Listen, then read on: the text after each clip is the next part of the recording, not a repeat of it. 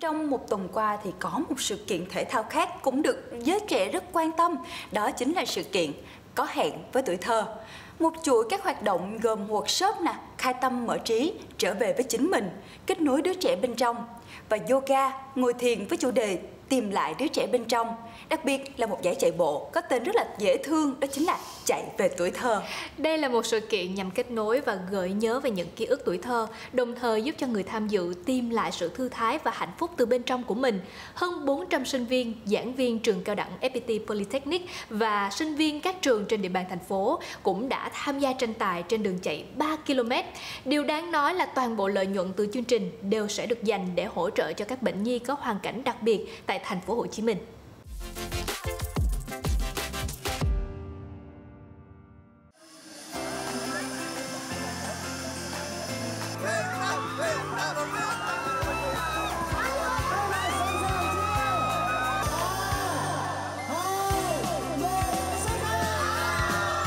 Cái cuộc chạy 3 km này nó cũng ờ, cũng vừa dễ mà vừa khó do cái việc học thì em đã tạm cái ngưng cái chơi thể thao nên cái thể lực của em cũng ờ, khá xuống nhưng ờ, em ờ, cảm thấy rất là vui và quan trọng hơn là em đã vượt qua thể lực bên trong con người của em là tuy mệt nhưng mà vẫn cố gắng vượt qua. Từng là vận động viên bóng chuyền trước khi theo học ngành marketing sale, thế nhưng đây mới là lần đầu tiên Thanh Liêm tham gia một giải chạy bộ. Lộ trình 3 km vòng quanh công viên phần mềm Quang Trung, quận 12 đã trở thành bài kiểm tra thể lực nhỏ mang lại nhiều cảm xúc cho cả Thanh Liêm và hơn 400 người tham dự. Giải chạy nằm trong chương trình Có hẹn với tuổi thơ do chính sinh viên trường cao đẳng FPT Polytechnic thực hiện với loạt hoạt động gợi nhớ về tuổi thơ và cùng nhau giao lưu tìm hiểu về sức khỏe tinh thần cùng chuyên gia tâm lý.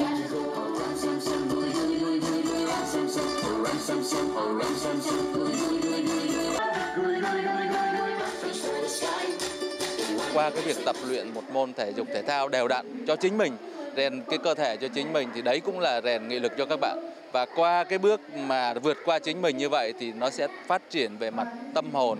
và trí tuệ qua đó nó cũng sẽ được hỗ trợ. Mình rất hy vọng là sau cái giải chạy này mình sẽ có thể uh, ra sức tập thể dục. Như hôm nay mình đi đến với cái giải chạy này thì mình có thể cải thiện hơn có thể mình đi từ 0,5 km hoặc là từ từ mình sẽ đi dần dần lên để có thể cải thiện sức khỏe của mình theo thống kê, hiện có hơn 620 triệu người tham gia chạy bộ, minh chứng cho sức hút của môn thể thao này trên toàn thế giới. Không chỉ kích hoạt toàn bộ hệ thống cơ, xương khớp giúp cải thiện sức khỏe thể chất, chạy bộ mỗi ngày cũng giúp bạn dễ dàng nghe được tiếng nói bên trong. Khi lắng nghe, ghi nhớ quá trình hoạt động của các giác quan, chúng ta có thể khám phá bản thân và tập trung vào hiện tại, từ đó giảm căng thẳng và hạn chế nhiều căn bệnh tâm lý, trong đó có trầm cảm, hơn nữa khi bạn hiểu về chính mình còn là bước đầu để chúng ta kết nối, lan tỏa năng lượng tích cực và tinh thần sẽ chia với những người xung quanh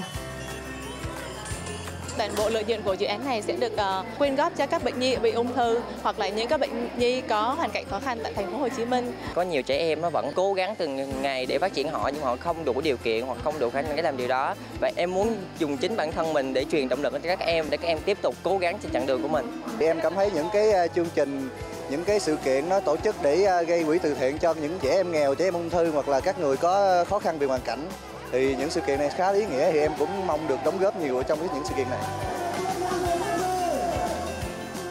Chạy bộ để truyền động lực đến cộng đồng. Và ngược lại, cộng đồng cũng có thể là lý do để mỗi người, đặc biệt là các bạn sinh viên, phấn đấu theo đuổi ước mơ và hoàn thiện bản thân từng ngày